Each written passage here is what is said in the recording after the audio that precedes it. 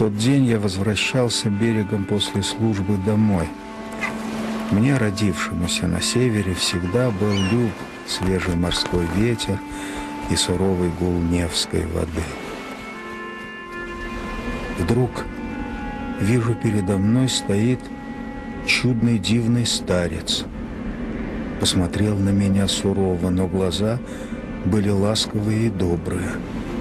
Руки и ноги у меня дрожали. Я хотел что-то сказать, но язык мой не повернулся. Старец меня перекрестил, и мне сделалось легко и радостно. Затем старец указал рукой на облака, и увидел я явственно царицу небесную. О лик пресвятой и благой, очи голубые и голубиные, добрые, смиренные, спокойные, небесные, божественные. Не забуду я вас, дивные очи. Минуту продолжалось это явление. Потом она ушла неторопливо и скрылась в облаках.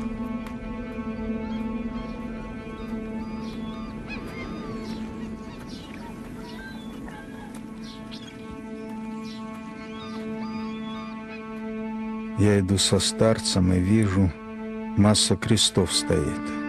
Тысячи, миллионы. Все разное. Старец сказал мне, это те, которые за Христа и за Слово Божие пострадали. И представилась мне большая масса народа со свечами в руках, с радостными лицами – Здесь были цари, князья, патриархи, схимники, миряне, отроки и младенцы. Я хотел спросить старца, что это за люди. Старец, как будто зная мою мысль, сказал, это все рабы Христовы, пострадавшие за святую Христову церковь. Я спросил, могу ли я присоединиться к ним. Старец сказал, нет, — еще рано тебе. Потерпи.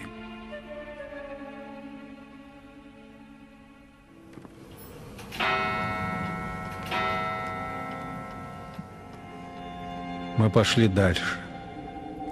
Старец шел быстро, так что я едва успевал за ним.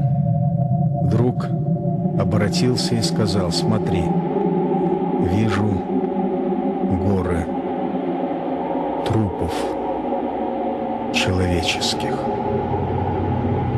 Старец взял меня за руку и сказал, не плачь, так нужно Господу Богу за наше маловерие и окаянство. Всему надлежит так быть. Затем вижу, как ведут к Антихристу юного отрока на поклонение. «Поди на колени!» Но отрок смело подошел к престолу Антихриста и сказал, «Я христианин и верую в Господа нашего Иисуса Христа, а ты, исчадие ада, слуга сатаны, ты Антихрист». «Смерть!» — страшно заревел он. И тут тысячи молний стрелами огненными полетели — поражая слуг Антихриста.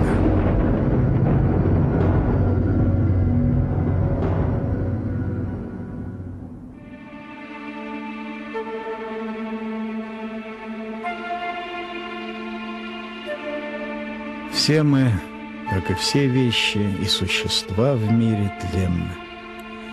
Но душа наша вечна и хочет вечного существования.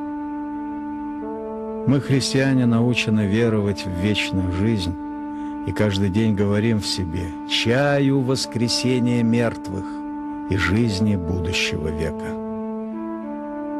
Так, дорогие братья и сестры, есть царство вечного света, вечной жизни, вечной любви, вечной правды, вечного мира, вечной красоты, нескончаемого и невообразимого блаженства для приготовивших себя к будущему веку.